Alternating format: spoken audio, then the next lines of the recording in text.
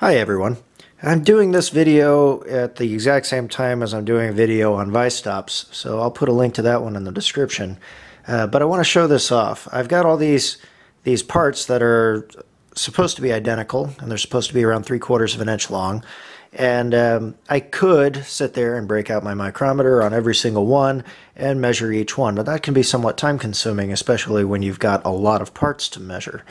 So I've got one of these granite comparator stands, and you can get these relatively cheaply in the catalogs. They come with a dial indicator. Of course, you could put a more high quality dial indicator on there if you'd like. Um, but the granite is just like a little surface plate. It's it's flat and it's got this column. You've got an indicator holder that rides up and down, and the purpose of it is to do just this thing. You set it with a gauge block or a known good part, and you're comparing that measurement to the ones you're getting with your pieces. So we can come in here, we'll put our gauge block in place, and then you would zero your dial indicator. Now in this case, they're supposed to be three quarters of an inch, and this is a three quarter inch gauge block. Um, now one thing you may not know about dial indicators is they have these clips, and sometimes they go along the outside of the bezel uh, a lot of people think they're really annoying, but they do have a purpose. They are to show what your tolerance would be on something like this. So in this case, uh, let's say I had plus or minus 10. You can have your clips shown at uh, 10 thousandths above or below your, your zero. Then it's very easy to see if your needle is outside of your tolerances.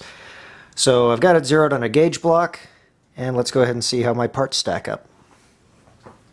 Obviously you want to make sure that the granite is nice and clean before you do this and that all your parts are burr and chip free. So right there I'm just under a thousandth below, about seven or eight tenths, uh, maybe two or three tenths there,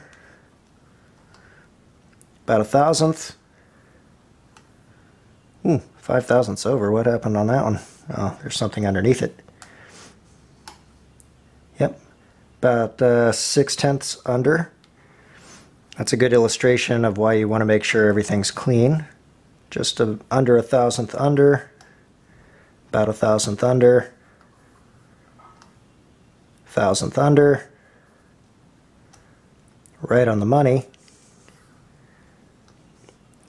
Maybe nine tenths under, and a thousandth under. So real fast, I just slid those all under the indicator and I immediately could tell if my parts were in tolerance or out of tolerance. And in this case, just with my vice stop, I got all of these within a thousandth of an inch. Now another neat way of using these is uh, they've got these indicator tips that you can buy and they've got a variety of shapes and lengths that screw onto the end of the indicator so you would undo that.